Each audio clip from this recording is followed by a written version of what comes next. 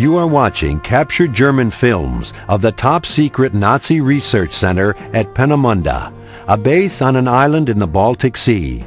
It was here that German scientists developed the first rocket to travel faster than the speed of sound.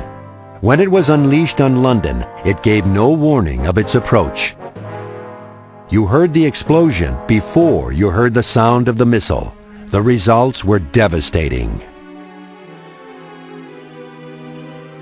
Leading the German research was Wernher von Braun, a scientist whose passion about space exploration was exploited by the Nazis. Years later, von Braun would work for NASA on the Apollo missions, but now his focus was on London.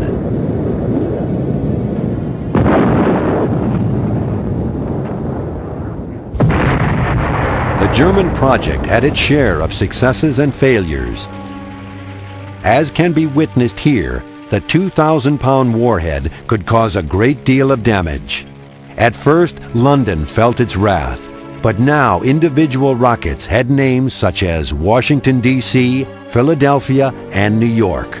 Those were the ultimate targets.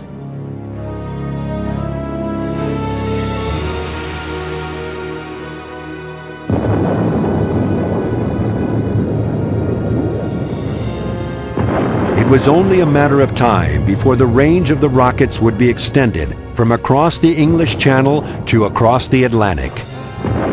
But Allied bombing combined with the loss of launching sites in Western Europe following the D-Day invasion doomed Germany's chance to maximize the use of these weapons of terror.